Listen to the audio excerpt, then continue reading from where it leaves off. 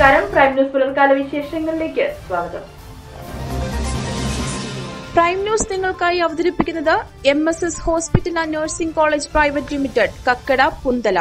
Kava water purifiers Pandalam. Pazhakulam Swaraj ഗ്രന്ഥശാലയുടെ ആഭിമുഖ്യത്തിൽ Hiroshima Nagasaki ദിനത്തിന്റെ എഴുപത്തിയഞ്ചാമത് വാർഷികാനുസ്മരണം നടത്തി. പഴകുളം മേട്ടുംപുറം സ്വരാജ് ഗ്രന്ഥശാലയുടെ ആഭിമുഖ്യത്തിൽ ഹിരോഷിമ നാഗസാക്കി ദിനത്തിന്റെ എഴുപത്തിയഞ്ചാമത് വാർഷിക അനുസ്മരണം സംഘടിപ്പിച്ചു.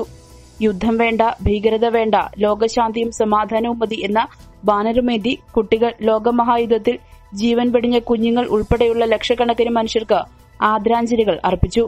പഴകുളം മേട്ടുംപുറം സ്വരാജ് ഗ്രന്ഥശാല ബാലവേദി നടത്തിയ ഹിരോഷിമ ദിനാചരണത്തിന് പ്രസിഡന്റ് എസ് മീര സാഹിബ് നേതൃത്വം നൽകി. അനിൽ തടാലിൽ അനുസ്മരണ പ്രഭാഷണം നടത്തി. നരിയാപുരം സെന്റ് പോൾസ് ഹൈസ്കൂളിന്റെ ആഭിമുഖ്യത്തിൽ ഹിരോഷിമ നാഗസാക്കി ദിനാചരണം നടത്തി. Nariyapuram saint Paul's high school social service ക്ലബിന്റെ നേതൃത്വത്തിൽ ഹിരോഷിമ ദിനാചരണം നടന്നു. ഓൺലൈനിലൂടെ school manager Biju M Thomas ഉദ്ഘാടനം ചെയ്തു. വിവിധ ക്ലാസുകളിലെ കുട്ടികൾ സഡാക്കോ കോക്ക് നിർമ്മാണത്തിൽ ഏർപ്പെട്ടു. ലോക സമാധാനത്തിന്റെ പ്രതീകമായി തങ്ങളുടെ കൂട്ടുകാരെ സഡാക്കോക്കോക്ക് നിർമ്മിക്കുവാൻ പഠിപ്പിച്ചും ഡിജിറ്റൽ ആൽബം തയ്യാറാക്കുകയും ചെയ്തു. യുദ്ധവിരുദ്ധ പോസ്റ്റർ നിർമ്മാണം ക്യൂസ് പ്രസംഗം മുദ്രാവാക്യങ്ങൾ ചിത്രങ്ങൾ എന്നിവയിലൂടെ കുട്ടികൾ യുദ്ധവിരുദ്ധ സന്ദേശം പകർന്നു. പ്രധാന അധ്യാപകൻ Thomas Mathew social science club convener Rini T Mathew എന്നിവർ പ്രസംഗിച്ചു. നമ്മുടെ നാട് ആശ്രയം പദ്ധതിയിൽ ഉൾപ്പെടുത്തി ഓൺലൈൻ പഠന സഹായത്തിനായി വിദ്യാർത്ഥിക്ക് സ്മാർട്ട് ഫോൺ നൽകി. നമ്മുടെ നാട് ആശ്രയം പദ്ധതിയിൽ ഉൾപ്പെടുത്തി മഴുവണ്ണൂർ വീട്ടിൽ കടക്കാട് വടക്ക് പത്താം ക്ലാസ്സിൽ ഫുൾ എ പ്ലസ് വാങ്ങിയ കൃഷ്ണ ആർ നായർക്കാണ് തുടർ പഠനത്തിന് ഒരു സ്മാർട്ട് ഫോൺ കൈമാറിയത്. നമ്മുടെ നാടിന്റെ പ്രവർത്തകരായ സുഭാഷ് കുമാർ സുരേഷ് രാധാകൃഷ്ണൻ നായർ പാഞ്ചജന്യം സോധി കുരമ്പാല തുടങ്ങിയവർ പങ്കെടുത്തു. സിവിൽ സർവീസ് ജേതാവ് പ്രണവിനെ Chittayam Gopakumar M L A അനുമോദിച്ചു. അടൂർ ഏനാത്ത് ദേശകല്ലുമുട്ടിൽ പ്രണവത്തിൽ retired sub registrar G ജയരാജിന്റെയും Kodumon plantation corporation administrative officer ജയയുടെയും മകനായ പ്രണവ് സിവിൽ സർവീസ് പരീക്ഷയിൽ ഉന്നത വിജയം നേടി. ഇതറിഞ്ഞ് Chittayam Gopakumar M L A വീട്ടിലെത്തി പൊന്നാടയും മൊമെന്റോയും നൽകി അനുമോദിച്ചു. Plantation corporation chairman advocate H Rajeevan CPI നേതാക്കന്മാരായ Vinod Thundathil Suresh Babu മുൻ മെമ്പർ സന്താനവല്ലി എന്നിവർ സന്നിഹിതരായിരുന്നു. ചിരാഗിന്റെ നേതൃത്വത്തിൽ കോവിഡ് ഫസ്റ്റ് ട്രീറ്റ്മെന്റ് സെന്ററിലേക്ക് സാധന സാമഗ്രികൾ നൽകി. പന്തളം എൻ എസ് എസ് കോളേജിലെ നാഷണൽ സർവീസ് സ്കീം പഴയകാല പ്രവർത്തക കൂട്ടായ്മയായ ചിരാഗ് അംഗങ്ങളുടെയും അഭ്യുതകാംക്ഷികളുടെയും പ്രവാസി സുഹൃത്തുക്കളുടെയും സഹായത്തോടെ ലഭിച്ച പതിനയ്യായിരത്തിലധികം രൂപ ഉപയോഗിച്ചാണ് അത്യന്താപേക്ഷിതമായ സാധന സാമഗ്രികൾ കോവിഡ് ഫസ്റ്റ് ലൈൻ ട്രീറ്റ്മെന്റ് സെന്ററിലേക്ക് വാങ്ങിയത്. ആലപ്പുഴ ജില്ലയിലെ മുളക്കുഴ പഞ്ചായത്തിൽ കോവിഡ് പ്ര- രോഗപ്രതിരോധത്തിനായി കേരള ഗവൺമെന്റിന്റെ കോവിഡ് ഫസ്റ്റ് ലൈൻ ചികിത്സാ സഹായ കേന്ദ്രത്തിലേക്കാണ് മുളമ്പുഴ പഞ്ചായത്ത് പ്രസിഡന്റ് രശ്മിക്ക് ചിരാഗംഗങ്ങൾ സാധനങ്ങൾ കൈമാറിയത്. ചിരാഗംഗങ്ങളായ സിദ്ധാര സെയ്ഖ് അഖിലേഷ് ബാലൻ അമ്മു ഷെഫീഖ് ശരത് ശങ്കർ ജോബി അഡ്വക്കേറ്റ് സുമേഷ് മടയിൽ ആൻസി സുനി ബിനു അരവിന്ദ് എന്നിവർ നേതൃത്വം നൽകി.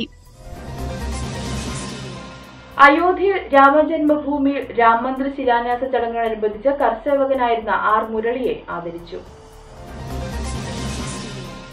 അയോധ്യയിലെ രാമജന്മഭൂമിയിലെ രാമമന്ദിർ ശിലാന്യാസ ചടങ്ങിനോടനുബന്ധിച്ച് ബാലഗോകുലത്തിന്റെ നേതൃത്വത്തിൽ കർസേവകനായിരുന്ന പെരുമ്പുളിക്കൽ നരിയത്ത് മഠത്തിൽ ആർ മുരളിയെ ആദരിച്ചു.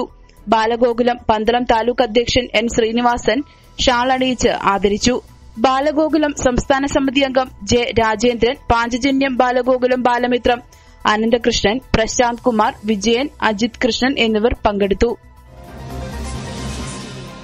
കോൺഗ്രസ് ആഭിമുഖ്യത്തിൽ നിർധന വിദ്യാർത്ഥിക്ക് ഓൺലൈൻ പഠന സഹായത്തിനായി ടി വി നൽകി.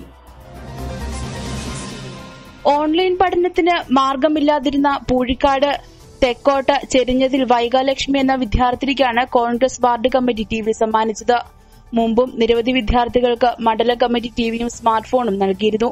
കെ പി സി സി നിർവാഹക സമിതി അംഗം അഡ്വക്കേറ്റ് കെ പ്രതാപൻ മണ്ഡലം president K R Vijayakumar block secretary Valakkode Mohankumar മണ്ഡലം secretary ഇടുക്കിള George ward president Radhakrishnapillai എന്നിവർ പങ്കെടുത്തു. പത്തനംതിട്ട ജില്ലയിൽ ഇന്നലെ മുപ്പത്തിമൂന്ന് പേർക്കാണ് കോവിഡ് പോസിറ്റീവായത്. അൻപത് പേർ രോഗമുക്തി നേടി. അതേസമയം പതിനൊന്ന് പേർക്കാണ് സമ്പർക്കത്തിലൂടെ രോഗബാധ സ്ഥിരീകരിച്ചിരിക്കുന്നത്.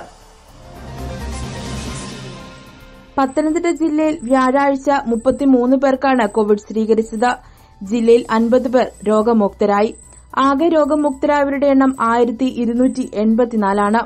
രോഗം സ്ഥിരീകരിച്ചവരിൽ ഒൻപത് പേർ വിദേശ രാജ്യങ്ങളിൽ നിന്ന് വന്നവരും പതിമൂന്ന് പേർ മറ്റ് സംസ്ഥാനങ്ങളിൽ നിന്നെത്തിയവരും പതിനൊന്ന് പേർക്ക് സമ്പർക്കത്തിലൂടെയുമാണ് രോഗം ബാധിച്ചത്. ഇതിൽ കുമ്പഴ ക്ലസ്റ്ററുള്ള രണ്ടുപേരും അടൂർ ക്ലസ്റ്ററുള്ള ആറുപേരും ഉണ്ട്. ജില്ലയിൽ ഇതുവരെ ആകെ ആയിരത്തി അറുന്നൂറ്റി തൊണ്ണൂറ്റിമൂന്ന് പേർക്ക് രോഗം ബാധിച്ചു.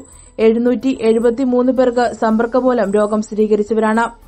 കോവിഡ് നയന്റീൻ മൂലം ജില്ലയിൽ രണ്ടുപേരാണ് മരണമടഞ്ഞത്. നാനൂറ്റി ഏഴ് പേർ നിലവിൽ രോഗികളായിട്ടുണ്ട്.